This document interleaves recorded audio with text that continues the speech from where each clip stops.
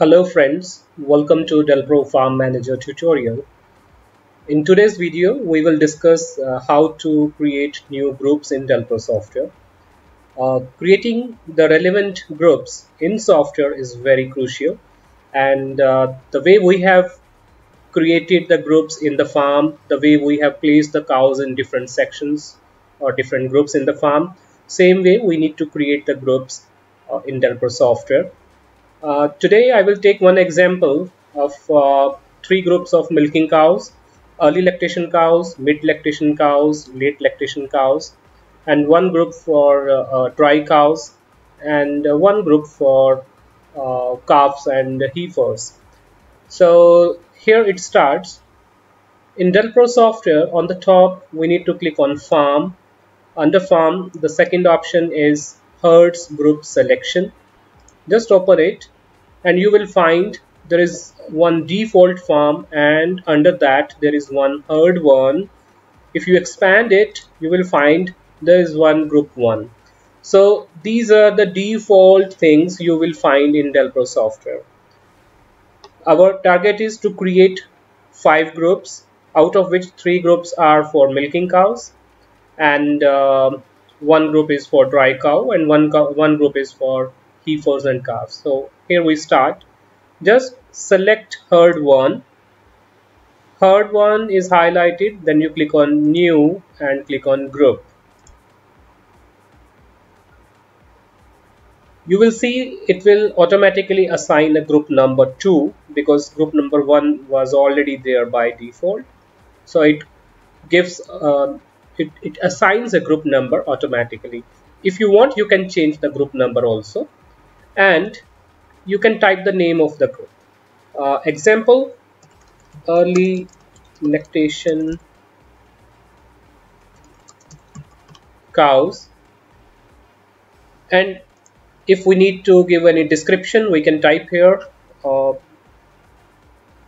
0 to 60 days in milk then under milk settings I need to tell Delpro how many times this the cows from this group will be milked. Session 1 and session 2 both I select and I click save and close. So one group with the name early lactation cows is created. Another group click on new group the group number 3 is there automatically give it a name mid lactation cows. Description can be 61 to 200 DIM this is just an example. Each farm will have his own preferences for uh, for mid lactation uh, days in milk or uh, any lactation days in milk. In milk settings we need to tell the software how many times the cows of this group will be milked two times. I put a check mark for session 1 and session 2 and I click save and close. Then I have uh, another group late lactation cows.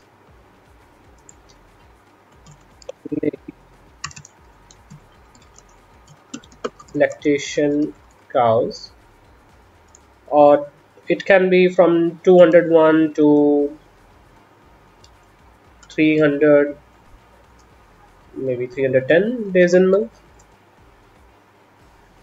Milk settings these cows will be milked two times. So session 1 and session 2 are selected save and close. Now the next group is going to be for dry cows.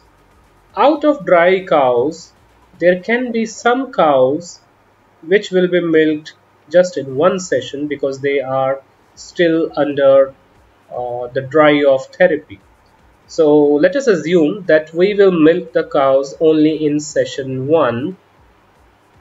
Um, I click new group, I give it a name, I give it a name drying off rather than dry off, drying off. And uh, in description I type to be dried off but still in milking. This is just for my understanding. And under milk setting I will assign only session 1 for the group and I will click save and close. Now what is the difference in the milk settings of uh, drying off group the difference is if you look carefully under milk settings only session 1 is enabled for this group if any cow from this group by mistake comes in the parlor in session 2 the MPC will show a red light with the symbol don't milk because session 2 is not activated or not enabled for this group. And uh, if the cow comes only in session 1 she will have the permission and system will allow the milking. So this is the difference of uh, allowing milking for a particular group coming next uh, we will create a new group for um,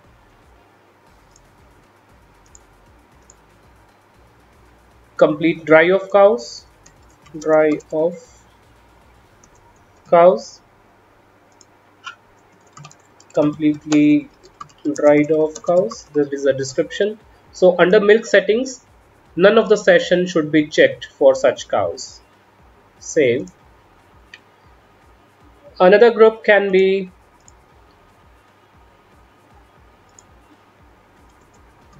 heifers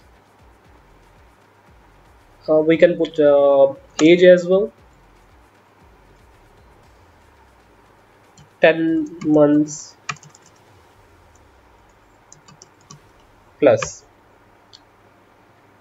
So in description I can type uh, breedable heifers these are also non-milking animals so no check mark on milk settings save and close. So th this is the example how we can create new groups in Delpro software. And uh, once we create the software now uh, when we try to create uh, or when we try to introduce an animal in Delpro software you will see that when we click to add animal under groups we have all the groups which we have defined in Delpro software. So this is very important to create the groups before introducing any animal in Delpro software because uh, we need to select the correct group for respective animal. If we try to change the group later on, then it is an unnecessary data entry in software, which is not required at all. So I hope uh, it it was an easy workshop today. And uh, if you need uh, any any further help in this uh, training please let me know. And thank you very much for your time. Bye bye